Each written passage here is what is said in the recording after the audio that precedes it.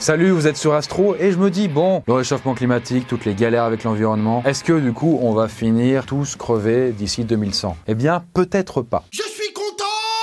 Parce que, bah, en vrai, plus on approche du fossé, et plus du coup, il y a des chercheurs et des entreprises qui se bougent pour inventer des choses folles qui pourraient peut-être nous aider à nous en sortir, quoi. Et justement, c'est ce qu'on va voir dans cette vidéo. Que ce soit cette invention, celle-là ou même celle-là, vous allez en voir pas mal. D'ailleurs, sachez que toute cette semaine, je suis en Italie. Je vais vloguer beaucoup sur mon Instagram puisque je vais faire un trip très spécial où je vais démarrer tout en bas de l'Italie pour remonter ensuite jusqu'à la France. Et on va voir du coup combien ça va me coûter, les galères que je vais passer. Bref, vous allez suivre un petit peu toute cette épopée directement en story sur mon Insta. Compte.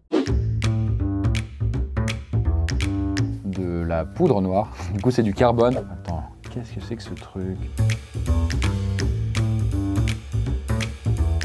Ah ouais, ok, du coup il fait de la peinture avec du coup du pot d'échappement. Ah c'est stylé. Après ils peignent et tout. Ah ouais, ils font ils se font plaisir du coup avec un pot d'échappement quoi. La mécanophilie. Ouais, du coup c'est vraiment un résidu en fait directement des pots d'échappement. C'est fou quoi. Ça a l'air plutôt abouti en plus. Et ce qui est assez ouf, c'est que ce filtre capte jusqu'à 99% des particules polluantes des pots d'échappement. C'est incredible. Si toutes les voitures avaient ça, qui sont pas électriques, hein, le niveau de pollution du coup serait tellement plus bas, j'ai l'impression. Et du coup, en plus, comme on l'a vu, c'est recyclé en encre. Et je rappelle d'ailleurs qu'en France, la pollution atmosphérique, qui est liée notamment du coup aux particules fines hein, qui sortent des voitures, c'est 48 000 personnes qui meurent prématurément tous les ans. Actuellement, on peut acheter du coup l'encre qui sort de ces pots d'échappement, mais on peut pas acheter le filtre. On aurait préféré l'inverse, je pense. En effet. Bon, espérons que ce soit bientôt commercialisé. hein. Ah oui, des arbres. Des arbres éoliennes. C'est rigolo. Ce qui permet d'avoir des, des éoliennes qui sont plutôt esthétiques. C'est pas trop hein, quand on voit ce qu'on peut avoir du coup dans les, dans les champs. Et là, justement, Cocorico, c'est fait par une entreprise française, New World Wind. Après, du coup, en vrai, l'arbre, tu vas pas le mettre dans un champ. Là, c'est plutôt en milieu urbain. Et ça va fonctionner avec le vent et l'énergie solaire. Si on va sur leur site, au gars, ils disent que leur modèle d'arbre coûte, leur modèle d'arbre coûte entre leur modèle d'arbre coûte entre 650 et 1000 euros selon les modèles. Honnêtement, ça m'étonne parce que c'est vraiment pas cher. Hein. Je sais pas si vous savez du coup, mais le prix pour une éolienne, c'est quand même exorbitant. Même une petite éolienne de merde. Mais non, je, je ne vais pas crier. à partir de 10 000 euros. Donc pourquoi pas, mais un peu, un peu perplexe. Après, est-ce que du coup ça a déjà été utilisé en vrai? Qu'est-ce que ça donne, etc. En tout cas, ils disent que bah, un arbre peut alimenter 15 lampadaires ou 83% de la consommation électrique d'un ménage. Pas mal, mais hors chauffage, hein, attention. Ok, de la terre et des polluants. C'est une poudre, ok. Ça améliore la qualité de l'eau, ok. Attends, comment c'est Ah ouais, c'est marrant. Attends, comment ils réussissent à faire ça C'est du génie en gros, ils mettent leur petite poudre blanche dans de l'eau qui est bien dégueu, bien croupie, et après, du coup, ça chope la poussière ou alors ça l'écarte. Ah, c'est stylé. En tout cas, sachez qu'actuellement, il y a 5 personnes par minute qui meurent de maladies liées à l'eau dans le monde. Au niveau du fonctionnement, c'est assez simple, c'est que bah, les impuretés dans l'eau, elles sont chargées négativement. Et la poudre, la poudre blanche qu'on voit, elle contient des cristaux chargés positivement. Et donc, ça fait comme des aimants, le moins et le plus s'attire. Et ensuite, il y a un deuxième composant dans la poudre qui vient enrober bah, ces, ces petits aimants, donc la poudre plus la saleté, et ça va l'entraîner au fond. Et enfin, de la chlorine est relâchée pour tuer les bactéries, comme le chlore dans les piscines. Et après, vous pouvez passer juste l'eau dans un simple filtre et vous pouvez la boire. Il n'y a pas de risque pour l'environnement et pour la santé, ils disent. C'est super Et au niveau du truc, bah 1 gramme en fait de cette poudre est capable de purifier 1 à 5 litres d'eau. Et ça reviendrait à peu près à 4 centimes par litre d'eau potable. Ce qui est quand même mieux que euh, l'eau en bouteille où on peut la payer euh, 10, 20, 30, 50, je sais pas combien fois plus cher. Hyper cool. Waouh. Qu'est-ce qu'il fait le drone? Il balance des petites boulettes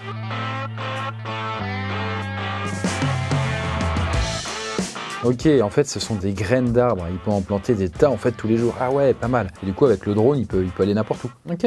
Ah oui, pratique, pratique. Après, est-ce que les arbres vont survivre? Parce que du coup, c'est bien beau de poser des arbres, mais après, s'ils sont pas dans leur milieu naturel ou leur bon substrat, bah, ils vont crever quoi. By combining digital intelligence with automation, we're able to combine the right species at the right location. And when we upload that into the drone, it just goes out, follows that path, and plants those trees where they're needed. En tout cas, bah, le drone là, en fait, c'est plus rapide qu'un travail manuel. Et il y a certains drones qui pourraient poser et s'aimer, on va dire, 40 000 arbres par jour. Je suis estomaqué. Et après, les graines sont dans des sortes de billes biodégradables avec tous les nutriments nécessaires. En tout cas, quand ils sont bébés. hein. Et après, elles sont projetées pour s'enfoncer dans le sol. Elles sont pas juste posées à la surface. En vrai, euh, hyper cool. Ouais, ça, ça a l'air prometteur. Ça a l'air prometteur. Ça me rappelle d'ailleurs un- une vidéo du coup de MrBeast où il avait euh, planté, je sais plus combien, 20 millions d'arbres Bref, et du coup dans cette vidéo, MrBeast, bah, il va planter avec l'aide de plein de personnes des graines. Bah, le projet est très louable, mais est-ce que après dans les faits, est-ce que ça marchait vraiment? Parce que si tu plantes des arbres mais pas à la bonne distance, que tu les mets pas dans le bon milieu, ce genre de choses, bah ils vont même pas pousser ou ils vont crever. Donc ce serait un peu vain. I'm about to introduce you to two people who are doing the impossible. They're turning this into this. Alors, qu'est-ce que c'est que ça? Cactus, ok. Oh, de la bouillie de cactus, c'est la première fois que je vois ça. Ah ouais Ah, c'est du cuir de cactus Ah, mais génial Excellent. Ah ouais, il y a des couleurs et tout en vrai. Ok, c'est pas plus cher que du cuir animal. Oh, c'est génial. J'ai quand même des, des bons outils avec ça. Attends, c'est dingue. Pas obligé de buter des vaches, quoi. Ça a l'air chouette. Je savais pas qu'avec le cactus, tu pouvais faire ça. En tout cas, ça peut être utile parce que, que vous le sachiez ou pas, eh bien, l'élevage intensif est responsable de 15% des émissions mondiales de carbone. Eh bah dis donc. Après, on élève aussi pas mal d'animaux juste pour leur peau. Et là, bah, du coup, eux, bah, avec leur entreprise Deserto, ils le font avec des cactus. Et surtout, ce qui est super pratique, c'est que bah, comme les cactus, ça pousse sans avoir besoin de beaucoup d'eau, bah, ils n'ont pas besoin justement d'avoir d'énormes quantités en fait de flotte pour pouvoir avoir de la peau. Anecdote, mais on peut aussi faire du cuir à base de peau de banane, c'est possible, ou même de feuilles d'ananas. Enfin voilà, ça s'arrête pas quoi. Mais prometteur, ouais. Qu'est-ce que c'est que ce merdier Hmm, Ok, on construit des routes avec du plastique recyclé. Oh, stylé C'est bien beau On peut enfin utiliser le plastique. The hollow sections under the plastic road's surface are intended to quickly store the sudden precipitation, and then gradually allow it to infiltrate the subsoil. Ok, ça peut résister aux inondations. Dans les routes classiques, du coup, l'eau, elle va pas s'écouler, alors que là, c'est le cas. Elle peut se barrer, donc c'est clairement moins emmerdant. Later. Je sais pas pourquoi, mais ils pompent l'eau. L'eau, elle est pas censée s'écouler toute seule, ils ont dit là? Ouais, c'était surtout les saletés qu'ils enlevaient. Après, j'ai j'ai pas toutes les réponses, mais en vrai, ça donne quand même une idée concrète de ce qu'on peut foutre avec du plastique quand ça finit pas dans l'océan. Ça permet de pas utiliser du goudron ou du bitume qui, eux, sont des dérivés du charbon ou du pétrole, ce qui est pas plus mal. Après, le plastique, c'est un dérivé du pétrole aussi, on va me dire. C'est exact. Après, là, c'est du plastique recyclé quand même. Et ça permet en tout cas de construire des routes beaucoup plus rapidement. En tout cas, cette invention, c'est pas que du, flanc. Elle est déjà utilisée aux Pays-Bas. Donc, pas mal, pas mal. Ça me rappelle d'ailleurs aussi une autre invention que j'avais vraiment kiffé. C'était une nana en Afrique qui arrivait à récupérer tout le plastique en fait qu'elle voyait et à le fabriquer en briques. Et c'était des briques de plastique. Et ce plastique, elle disait, il était plus costaud que du béton. Nice. Et avec ça, bah, elle pouvait faire des parements en fait sur les sols, peut-être fabriquer des maisons avec. On peut utiliser du plastique quoi. je vais vous révéler où j'ai réussi à mettre cette pièce de 2 centimes pour qu'elle me fasse gagner 200 euros. Attends, qu'est-ce que c'est que ce tutoriel bizarre? Pour connaître le débit de ma douche, j'ai pris un bocal, un grand bocal, j'ai mis un trait au niveau 1 litre, je vais mettre le pommeau de douche à l'intérieur, je vais allumer à fond le robinet et je vais compter le nombre de secondes qu'il y a pour qu'on arrive euh, jusqu'à 1 litre. C'est parti 1, 2, 3, 4, 5, 6 Ok, ouais, 6 secondes du coup pour remplir un litre d'eau, ok. Il y a un putain de débit quoi. Ok, ouais, il met une pièce trouée, ok, ok. Voilà, c'est parti. À fond, pareil. 1, 2, 3, 4, 5, 6, 7, 8, 9, 10, 11, 12, 13, 14, 15, 16. Ok, 16 secondes là pour remplir le même pot, donc euh, c'est trois fois plus lent. Ok, ok, pas mal, pas mal. Après, faut avoir une pièce trouée. Je sais pas si ça se trouve. Ça se trouve. Bon, en tout cas, là, ça vous coûte que littéralement 2 centimes, plus une perceuse avec une bonne mèche quand même, faut pas déconner. Mais ok, bah ça peut permettre de baisser la facture d'eau. Intéressant. Après, est-ce que du coup, euh, on a testé, une personne du coup qui se lave avec le flux d'eau de l'autre à fond et là celui-là à fond, est-ce que du coup elle prend autant de plaisir? Est-ce que ça lave aussi bien aussi? Bah en gros, le gars a la réponse. Parce qu'en faisant un trou encore plus petit, ça devenait un peu désagréable pour prendre sa douche, mais là apparemment 2 mm, ce qui est pas énorme, ça a l'air suffisant. Et justement, dans la même veine, si vous voulez une invention encore plus hardcore, avec celle-là, vous pouvez économiser 98% d'eau. c'est indécent. À un moment, on se lave plus, quoi. Il n'y a plus d'eau qui coule. Ah, c'est pour les robinets. C'est une brume d'eau, là, à ce moment-là, du coup. Ah, c'est ouf. Hmm, une fleur, ok, du coup, ouais, il y a une belle invention. Ah non, c'est pas ça. Grâce à un processus scientifique, la start-up parvient à transformer des données numériques en ADN liquide qui sera ensuite injecté dans des plantes. Attends, quoi? En gros, du coup, t'as une, t'as une petite fiole à la con et dedans, en fait, t'as des brins d'ADN qui stockent des données Je ne comprends pas. Ok, vous le savez, les data centers, c'est très cool parce que sans ça, bah, l'internet qu'on connaît ne marcherait pas, mais ça suce de ouf de l'énergie pour stocker toutes nos données. Je veux dire, quand Facebook veut retenir absolument toute votre vie, que vous soyez ou pas content, ça lui demande beaucoup de données, beaucoup de data centers. Et du coup, bah, cette entreprise propose l'inverse, que les data centers du futur absorbent du carbone au lieu d'en rejeter. Et là, ils ont trouvé un moyen, apparemment, du coup, c'était donc avec des brins d'ADN sous forme liquide. Et là, l'ADN est injecté dans des plantes qui peuvent les stocker pendant des années. Et d'après la accrochez-vous bien, mais la data du monde entier pourrait être stockée dans à peine 1 kg d'ADN. Je, demande à voir. En tout cas, apparemment, on pourrait stocker du texte, des photos, des, musiques. Après, ça pourrait servir plus à du stockage à long terme, j'imagine. Parce que euh, si tu as envie de lire une vidéo, tu vas pas t'emmerder à prendre ta pipette, puis la brancher à un ordi. Bon, à ce moment-là, on réinvente les CD, quoi. Faut arrêter. Mais putain, hyper, euh, hyper prometteur, par contre. J'avoue, euh, essayer de trouver un, un moyen biologique de, de faire le truc, euh, chouette, quoi.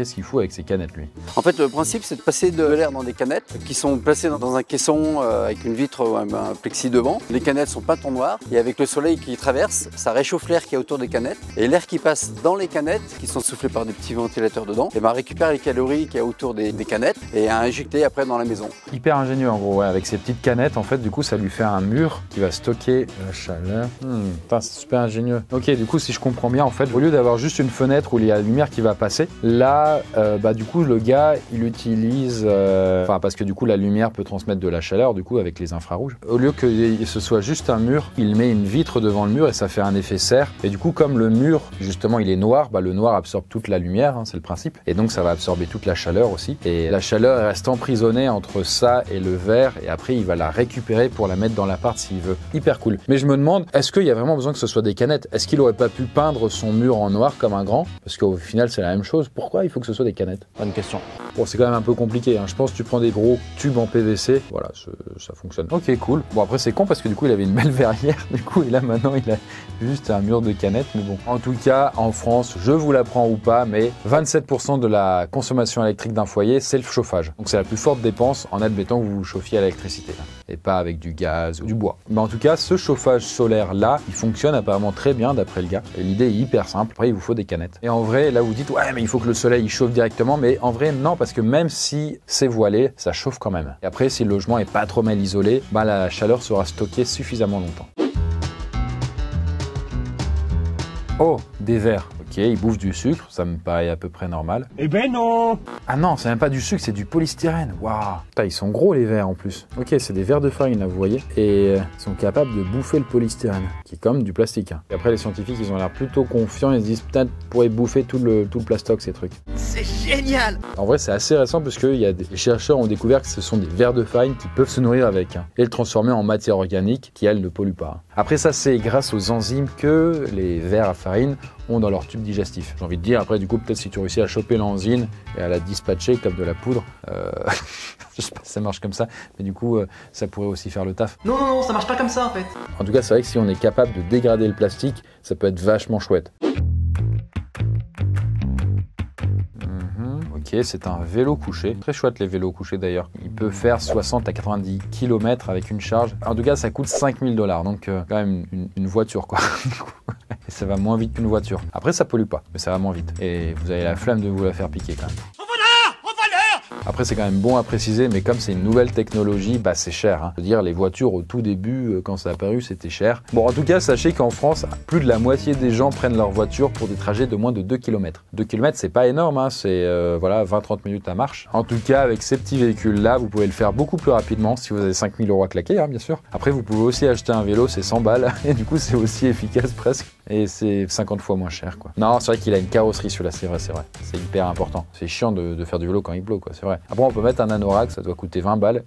T'es relou là Là, je suis un peu de mauvaise langue, mais il y a quand même des modèles où vous pouvez être jusqu'à 4 places dedans. Vous pouvez emmener vos gamins à l'école ou ce genre de choses. C'est plus dur à ranger qu'un vélo en plus, du coup. Ça prend la taille d'une bonne moto, quoi. Je suis un peu perplexe quand même, mais j'aime bien l'idée. Là, vous avez un modèle français. Ah, bah, il est. Ok, il a l'air déjà plus véloce. Après, lui, il est en, étant levé. En tout cas, petit chiffre quand même intéressant pour finir sur ça. Mais un vélo mobile, ça a été estimé à 80 fois plus efficace qu'une voiture électrique. Ah ouais C'est plus léger qu'une bagnole, ça consomme beaucoup moins d'énergie. Donc, euh, en vrai, il n'y a plus qu'à ce que ça se répande, quoi. Oh là là là, on finit en beauté. Qu'est-ce que c'est que ce truc? Ah, c'est joli ici, ça fait un, un lustre. Attendez, mais c'est quoi? On dirait des pochettes de plastoc et dedans il y a un liquide vert. Bizarre. En fait, c'est un lustre avec des algues à l'intérieur. Du coup, l'algue qui est contenue dans cette espèce de pochette euh, qui ressemble à des feuilles, il peut absorber du CO2, donc du carbone, et il va rejeter de l'oxygène. J'imagine que le plastique est perméable du coup à ça. Donc ok, hyper cool, c'est design, c'est assez utile. Après, en plus, en vrai, comme l'air intérieur est souvent surchargé en CO2 et plein de polluants, ça peut permettre de dépolluer. Et c'est joli. On va pas sauver le monde avec ça, mais euh, on, peut dépolluer son appart. Bah voilà, écoutez, j'espère que ça vous a plu en fait toutes ces inventions et que ça vous a redonné un peu de baume au cœur. Ça fait du bien hein, quand on n'est pas en train de, parler de fin du monde. Et hélas, du coup, ça marche moins bien en général dans la tête des gens puisque on est beaucoup plus attiré par les choses négatives. Comme du coup, on a l'impression que du coup, ça va nous impacter, alors que les trucs positifs, bah euh, voilà. Alors qu'en réalité, bah le monde va peut-être pas si mal que ça. C'est juste que du coup, on a une crispation en fait sur les choses négatives. Et ça de tout temps. Je pense que c'est un trait humain en fait de toujours penser qu'on est dans une époque de merde. Mais je pense pas que ce soit le cas en vrai. Voulez suivre, en fait, n'hésitez pas à aller sur euh, Instagram, c'est Elle Chris Comte. On s'amuse bien dessus, vous voyez des choses un peu plus dans les coulisses. Bref, à bientôt, bonne soirée.